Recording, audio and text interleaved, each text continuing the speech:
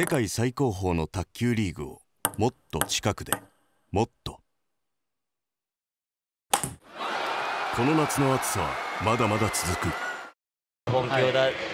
にになれるようにそれがやっぱ全日本10回取るとかっていうのもやっぱそのサイクルですかね。はいそうですね。全日本みたいな大きい大会の時には、はい、例えば体を痛めないとか、うん、風邪をひかないとかっていうのもコンディション整えるのもすごく大事じゃないですか。それも本気の中の一つですよね、はい、ってことはいろんなことをセーブしたりとかってそういうことですよね、なるほど。いや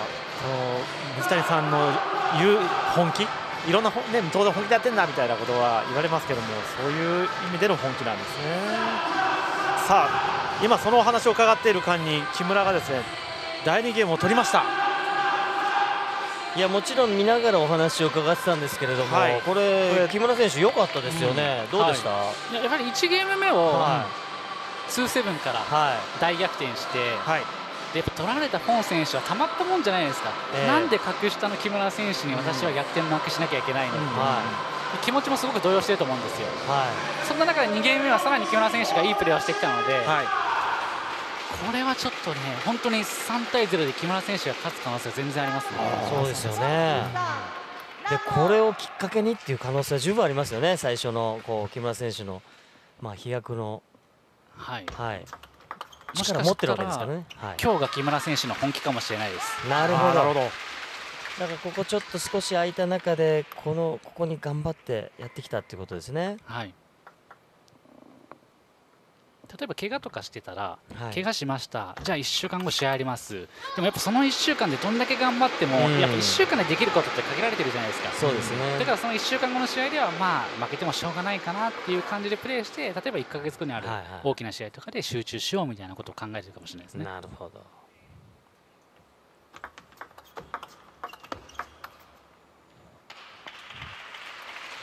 まあ、だからそういう中で今、こう非常にいい状態であの木村選手戦ってるじゃないですか。1ゲーム目逆転勝ち2ゲーム目4点というもうちょっとワンサイドに近いような流れ、はい、でやっぱ勝ちたい気持ちって出てきますよね当然、はい、やっぱここどうですか？気をつけるべきで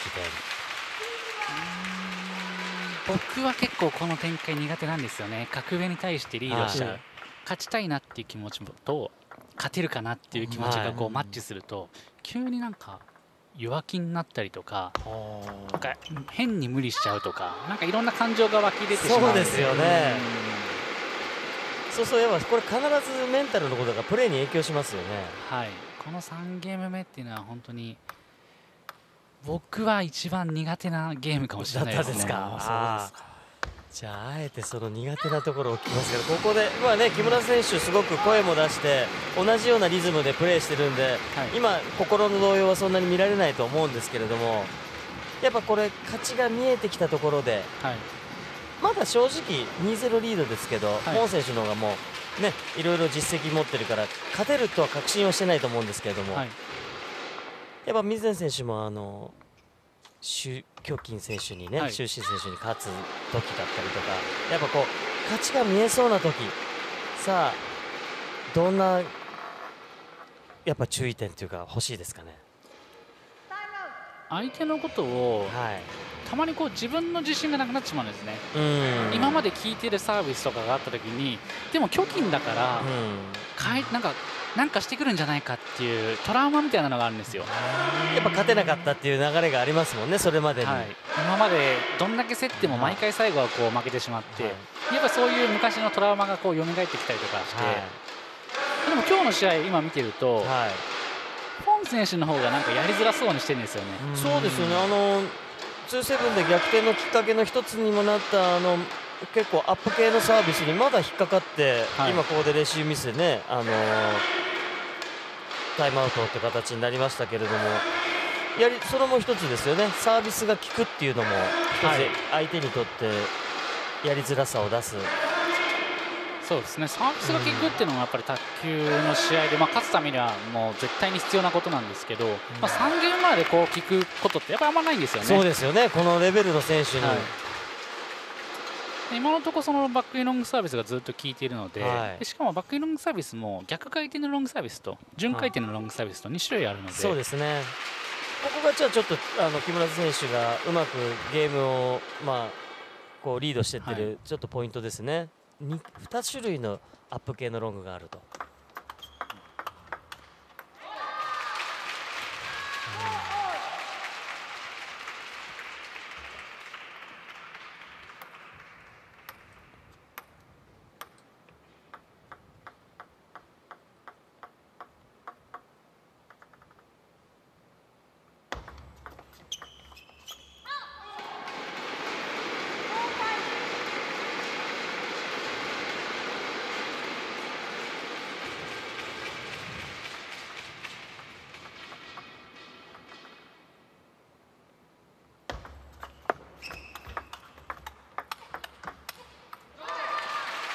本がよく返しました。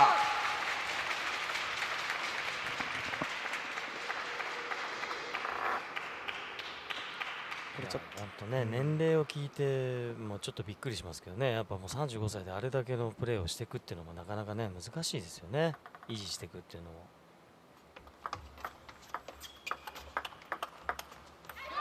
これもフォンです。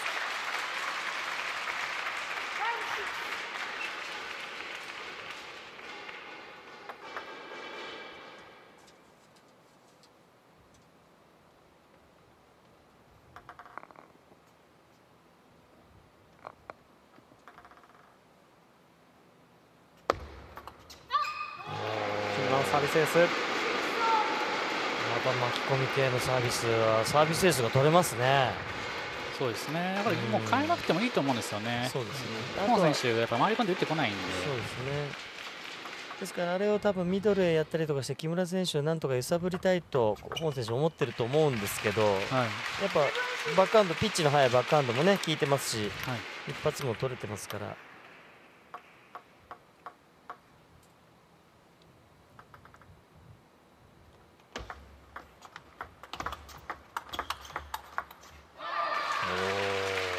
今、本は徹底的にミドルですか？ミドルからチャンスを作ってる感じですね、ここで1回普通に止めさせてワイドに行くっていう形ですけども。ここどうですか？タイムアウトとかっていうのは取らなくてもいいとこですかね？まだ。木村さんですか、はい、木村選手はそうですね。ちょっともう取るにしては遅いタイミングになってしまいましたね。8-6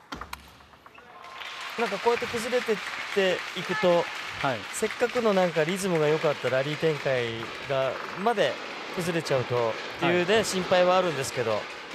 取るんだったらどこで取ってました？もし。取るんだったらやっぱ1点差リードを離された時ですね。じゃあそこでちょっとセブンシックセブンシックスでレシューミスした時ですね。はい、そうですね。ところでももうすぐ取ってた、はい、まだでもここで今ねちゃんとサービスエース取りましたから、はい、ただ今の木村選手の得点ってサービスエースがだけなんです、ね、そうなんですよ、はい、それがちょっと、うん、今の感じでいくと厳しい感じはありますね。今2対0でリードしてるんですけど、はい、でもなんか内容としては今もう本選手が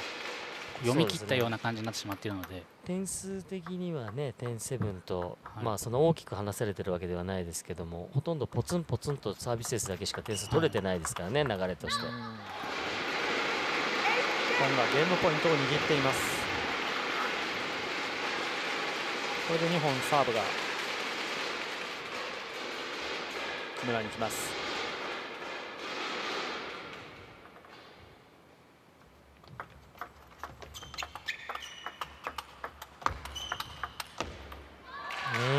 最後はオーバーミスになりました。第3ゲームはポンが取り返しました。これでゲームカウント2対1い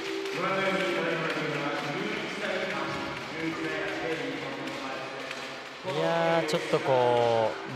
う、ポン選手があれですよね。ピッチを。